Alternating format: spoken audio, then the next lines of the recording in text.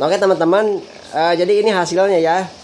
Ini namanya sate udang crispy ala rumah makan Padang. Nah, tapi ini khusus rumah makan Padang tempat saya teman-teman.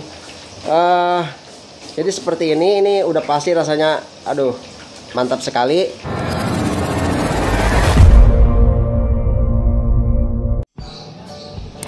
Assalamualaikum warahmatullahi wabarakatuh.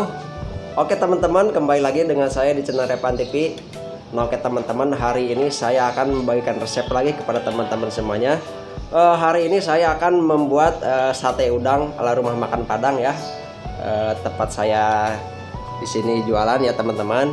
Eh, di sini ada juga nih, ada ikan bakar ya di sini. Eh, untuk caranya seperti apa dan resep-resepnya ya. Eh, buat teman-teman yang baru gabung silahkan untuk subscribe dulu karena subscribe gratis ya teman-teman. Eh, untuk caranya seperti apa? Kita langsung aja ya teman-teman eh, ke videonya.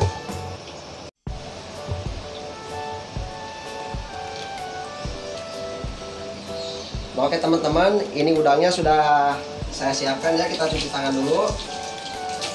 Eh, di sini sudah saya siapkan. Di sini ada udangnya ya. Eh, lalu tusukannya juga udah siapin biasanya saya isi satu tusuk ini isinya 4 ya teman-teman.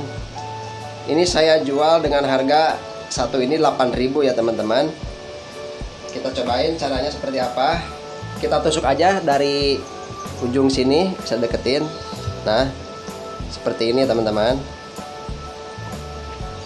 Nah dari sini ya. Kita sampai ke punggungnya ke sini. Seperti itu. Nah kita isi 4 ya.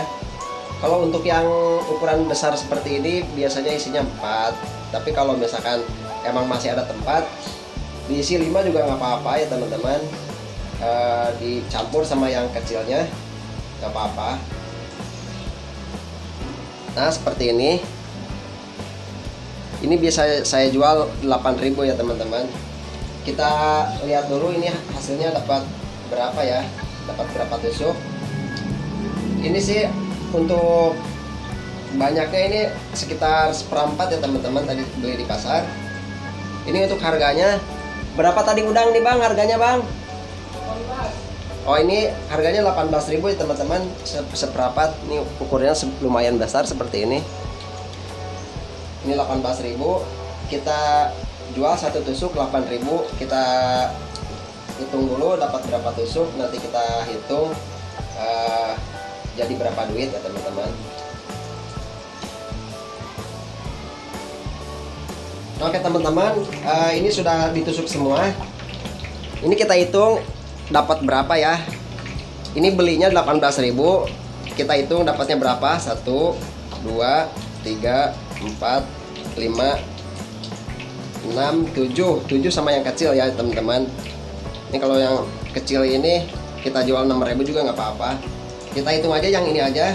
1 2 3 berarti 6 ini 6 kalau kali 8 itu 6 kali 8 48 ya. 48 sama 6000 Eh, 48 sama 6000 itu sekitar 54 ya teman-teman. Nah untuk caranya seperti apa? Nah di sini sudah ada adonannya teman-teman. Sudah ada adonan. Ini adonan peye ya teman-teman. Adonan peye udang.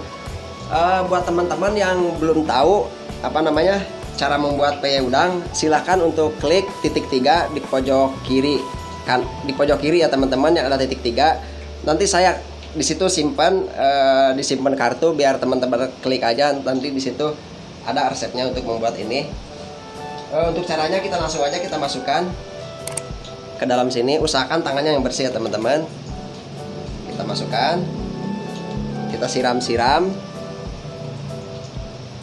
Nah lalu kita masukkan ke minyak panas. Bismillahirrahmanirrahim. Masukkan satu persatu. Dua tiga empat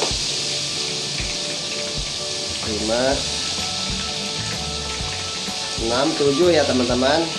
Nah kita goreng jangan terlalu lama. Kalau karena kalau udang itu kalau digoreng terlalu lama itu rasanya kurang enak juga ya teman-teman kita goreng sampai ya sampai kering aja. Jangan terlalu kering ya. Ini bisa teman-teman lihat nih crispy-nya udah kelihatan. Nih seperti ini. Nah saya sarankan untuk buat teman-teman yang belum tahu cara membuat pe udang silahkan untuk klik uh, apa namanya klik uh, titik tiga di pojok kiri ya. Nah di situ. Di situ saya uh, nanti saya simpan kartu bisa teman-teman ntar di situ dilihat aja. Oke.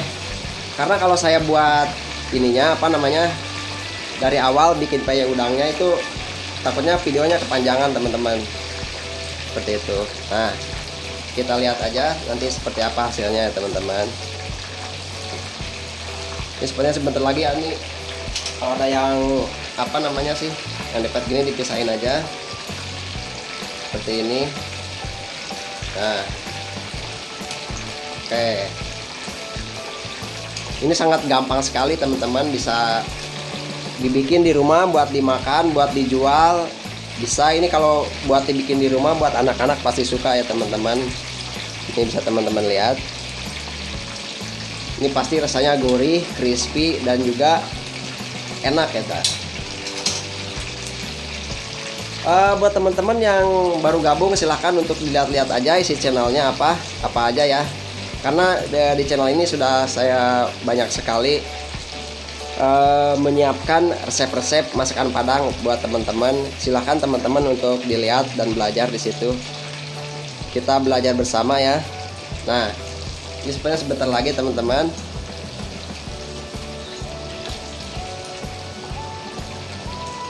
Nah, kita angkat aja. Jangan lama-lama karena kalau udang itu terlalu lama juga rasanya kurang enak ya.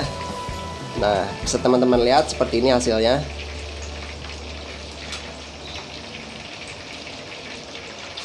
Nah.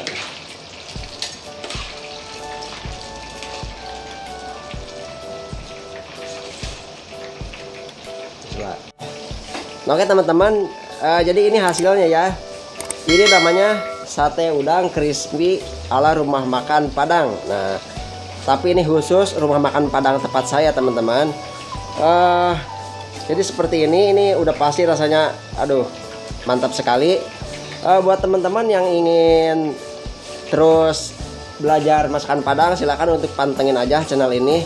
Karena di channel ini saya akan banyak sekali uh, membongkar rahasia-rahasia resep masakan Padang ya teman-teman. Terima kasih terima kasih yang sudah subscribe. Uh, jangan lupa ditunggu video selanjutnya. Wassalamualaikum warahmatullahi wabarakatuh